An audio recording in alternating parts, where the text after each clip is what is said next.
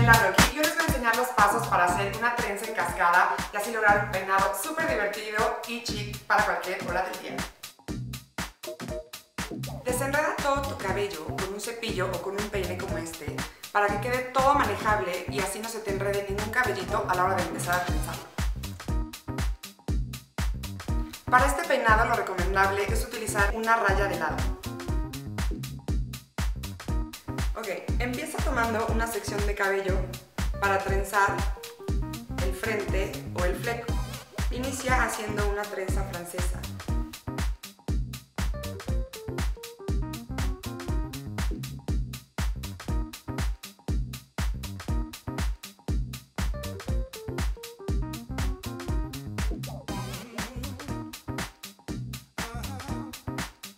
Ya que tenemos la trenza al inicio, este gajito que nos cae hacia el frente lo pueden ir pasando para que se detenga a la otra oreja. Esto nos va a ayudar a que el cabello se vaya deteniendo y sigamos nuestra trenza. Ok, tenemos dos gajos, pero necesitamos tres.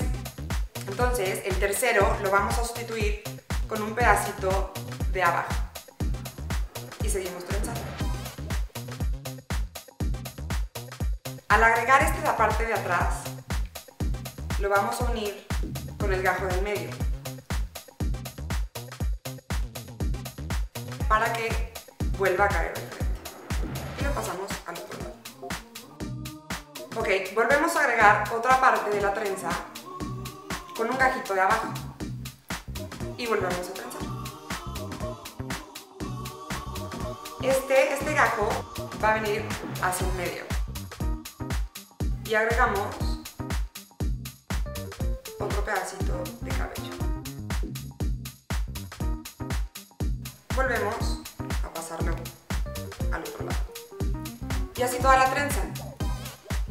Agarramos otro pedacito de cabello de abajo, tomamos otro pedacito de cabello de atrás,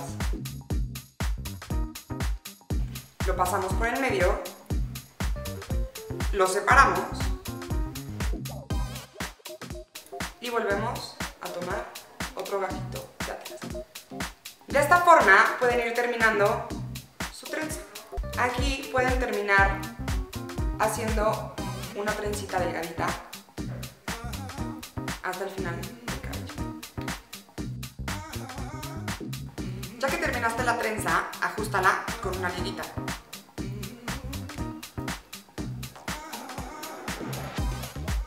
Y ahora suelta tu cabello. No te preocupes si la trenza no te queda perfecta. Este es un peinado que le puedes dar mucho movimiento. Te voy a enseñar cómo terminarlo. Si te quedaron unos cabellitos como estos sueltos y no te gustan, puedes taparlos agregando pasadores. Para terminar el peinado, toma tu trenza y gírala hacia atrás para detenerla justamente atrás de tu oreja.